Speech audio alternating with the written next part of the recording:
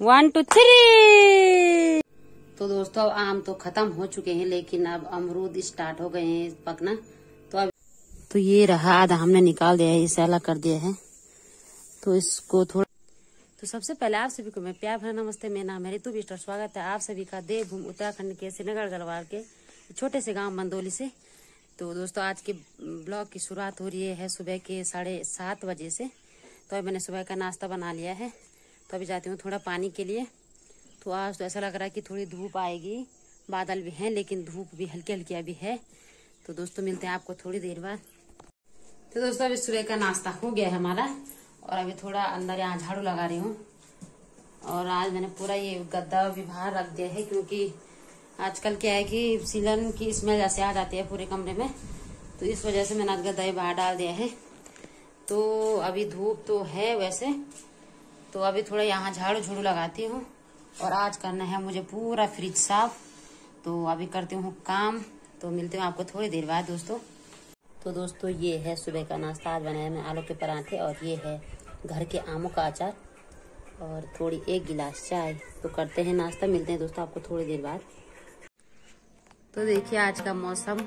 आसमान, एक साइड तो बिल्कुल साफ़ है और उस साइड थोड़ा थोड़ा हल्के हल्के बादल नज़र आ रहे हैं आसमान में।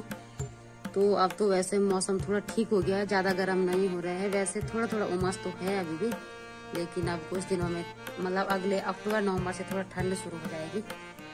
तो आजकल तो वैसे थोड़ा थोड़ा धूप खिल रही है वैसे। एक दो दिन से धूप अच्छी है।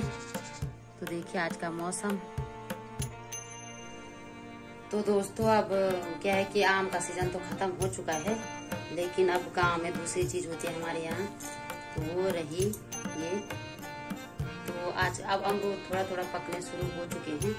तो इधर से लाए थे मैं दो चखने के लिए मैंने कहा देखते हैं कैसे हो रहे हैं। कुछ तो वहाँ ऊपर मतलब एक पेड़ ऐसा है कि उस पर तो नीचे गिरते जा रहे हैं क्योंकि ज़्यादा पकते हैं और उन पर कीड़े पड़ जाते हैं तो वो नीचे गिरते रहते हैं। तो अच्छा वाला भी है नहीं वैसे मीठा भी नहीं है वो। लेकिन ये है तो ये थोड़ा अच्छा अमरूद है। तो, तो आप भी आए दोस्तों अमरूद खाने। दो चार पेड़ हैं अगल बगल मतलब हमारे तो नहीं है, लेकिन बड़े ससुर जी हैं तो उनके पेड़ हैं, और बगल में सासू जी हैं तो उनके भी पेड़ हैं दो चार तो वहीं से लाई थी मैं एक दो खाने के लिए। तो आप भी आएगा अमरूद खाने के लिए। तो ये रहे दोस्तों, साल के पहले अमरूद, और अब अमरूद का सीज़न भी शुरू हो गया है। घर गाँव में आजकल ही पकते हैं अमरूद। तो आप भी आएगा अमरूद तो दोस्तों, अभी टाइम हो रहा है दिन के दो बजे और दिन का खाना भी हो गया हमारा। तो आज लाइट तो है नहीं अभी और बिन लाइट के, बिन पंखे के अजीब सा लग रहा है कमरे के अंदर।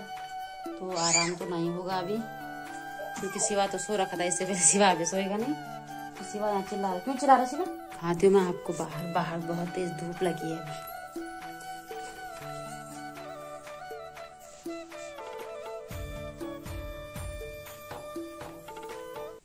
तो दोस्तों अभी टाइम हो रहा है शाम के छह बजे और अभी हमारा चाय पानी हो गया है और सासू जी चले गए हैं गौशाला भैंस बाहर निकालने के लिए।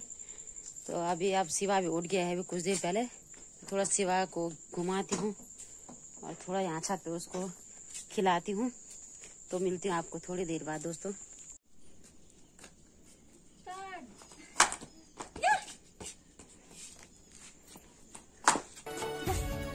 पकड़ शिवा। वन टू थ्री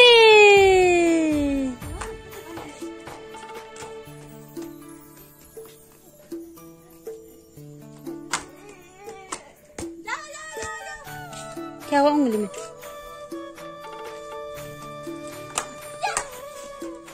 भागो पारे भाग, सीधी भागो मारी।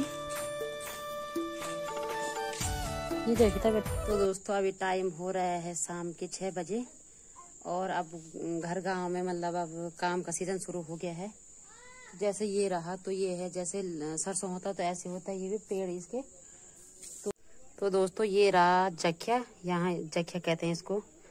तो ये हमारे यहाँ होता है आजकल तो इसको कल परसों ला गए थे और यहाँ पे रखा था तो थोड़ा इसको मतलब झाड़ दिया है थोड़ा। अभी तो वैसे सूखा नहीं है जब सूख जाएगा तो तब झड़ जाएगा जल्दी से। तो छोटे छोटे डंडे से मारने इसमें। तो देखिए, दिखाती हूँ आपको कैसा होता है ये।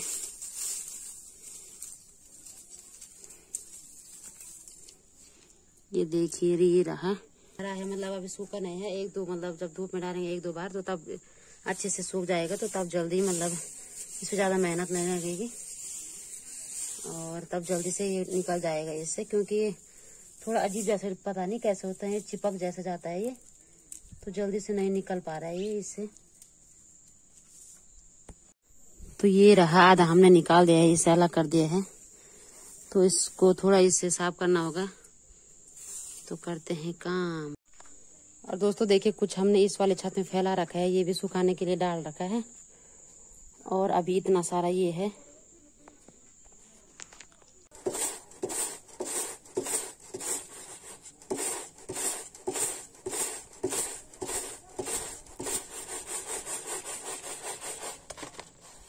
इससे भूसा अलग कर देंगे।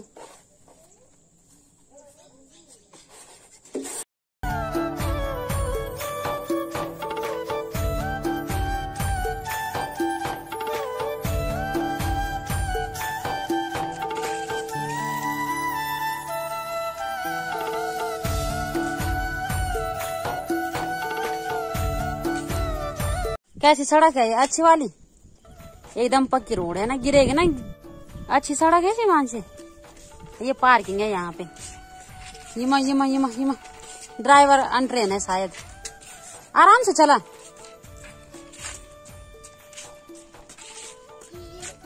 हाँ टीट भी बोल।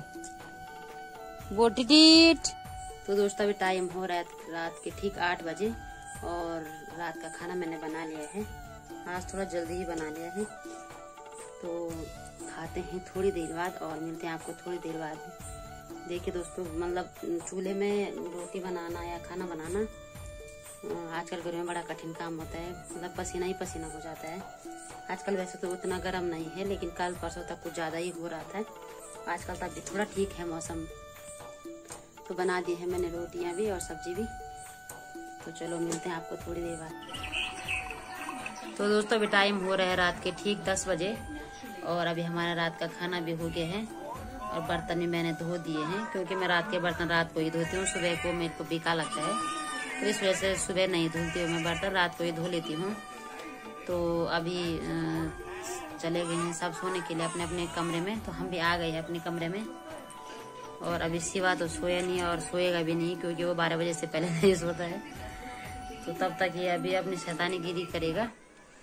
तो आशा करती हूँ आप लोगों को वीडियो पसंद आए वीडियो पसंद आए तो लाइक करें कमेंट करें शेयर करें और चैनल पे नए हो तो सब्सक्राइब ज़रूर करें दोस्तों। और मिलते हैं आपको ऐसी अगली नई वीडियो तक जय देव जय उत्तराखंड। बाय